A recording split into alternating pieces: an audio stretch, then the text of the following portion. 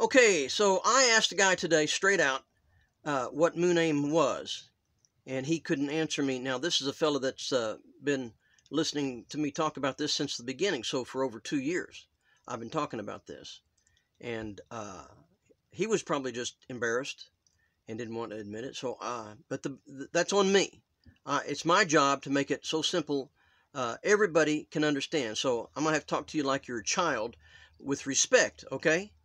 So I'm, I'm not going to call uh, anything a, a, scientific name. We're just going to say that that first one that looks like uh, you cut off your, your big toenail. That's uh, I won't even tell you what they call that. Okay, it doesn't matter. I'm calling it. Uh, uh, well, let's go to the middle one first. Okay, that's a half moon. Okay, and uh, it looks like a bow with the the string going through from tip to tip. Okay, that's the bow and the arrow, bow and arrow. All right. And you can see it's aiming at the two o'clock position. Okay. So uh, that's moon aim. And I think that's about as simple as you can get is to think of it as a bow and arrow, shoot, a bow shooting an arrow. You put, uh, you put the, the arrow on the, on the string and then it naturally points to something. And we're going to have to imagine a clock around it. So we're going to say it aims at the two o'clock position. All right. Now let's go back to the first one, the big toenail.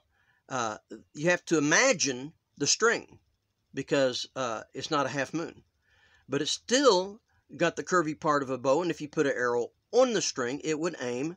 And in this case, it's aiming at the five o'clock position. Okay, we don't really care about that uh, moon phase because it aims down and you can't, you can't see it until about 20 minutes after sunset.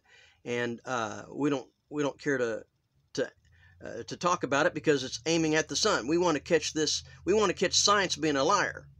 All right, let's go to the one where the illumination is 90, 90%. All right, and uh, I've been seeing this here lately uh, come up out of the haze at moonrise, comes out of the haze, aiming up at 12.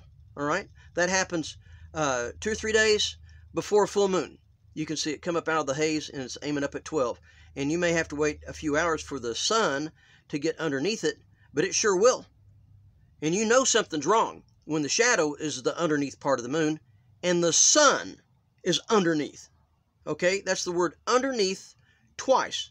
The shadow is underneath the moon and the sun is underneath the moon.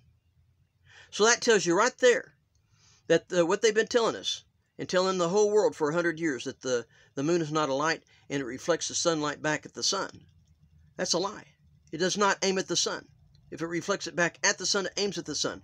And they they change things. You know, I've been looking at NASA sites and asking for moon aim explanation, and uh, they give me songs and everything else.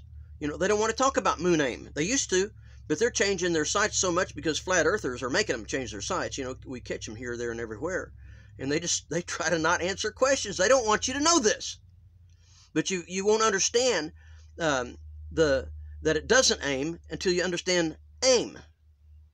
Okay, I'm saying the moon does not aim at the sun half the time. That's enough to say it does not aim at the sun, period. All right?